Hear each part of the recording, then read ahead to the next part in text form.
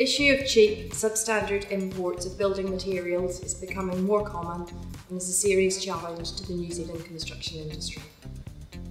BRANZ's capability in a technique known as FTIR spectroscopy is one way in which we can verify the authenticity of a wide range of building materials or investigate potential product substitutions.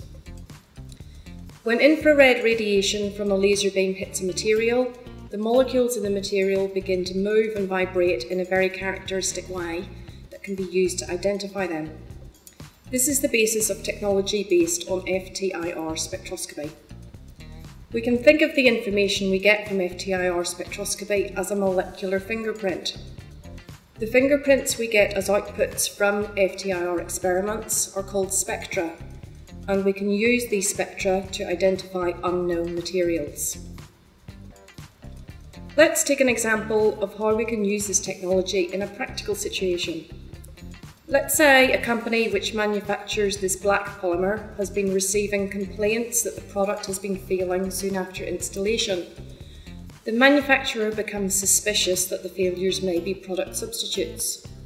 Using FTIR, we can tell immediately whether this is the case. I'll demonstrate how we can do this.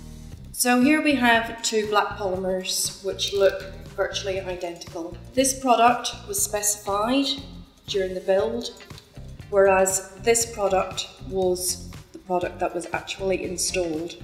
The installed product failed much earlier than anticipated, which led the manufacturer to be concerned that a product substitution had occurred.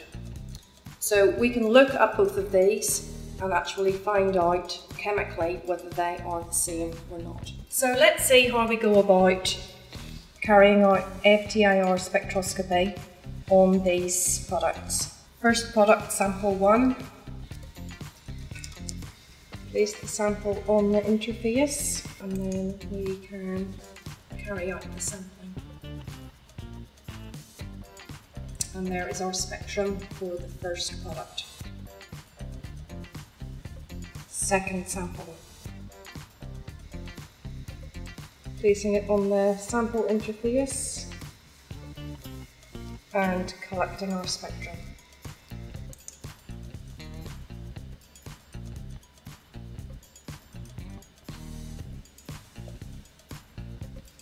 We can compare the two spectra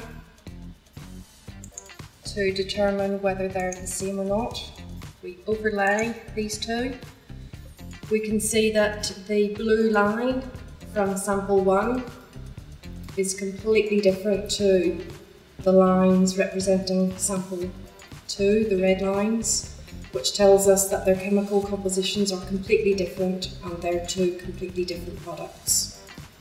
So the manufacturer who was concerned about product substitution was actually correct. It was not the product that he had specified.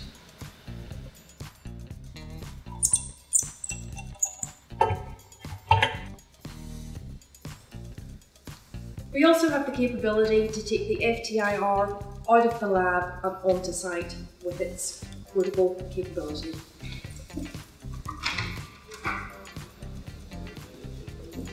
The range of materials that we can analyse is very wide, from timbers to polymers to other types of building materials such as building wraps, membranes, sealants and adhesives. From this work, BRANZ will create sample libraries which will prove to be a very valuable future reference source for a wide variety of building materials. For more on this and how FTIR is being used to test the long-term durability of polyurethane-based structural adhesives, see Build Issue 162.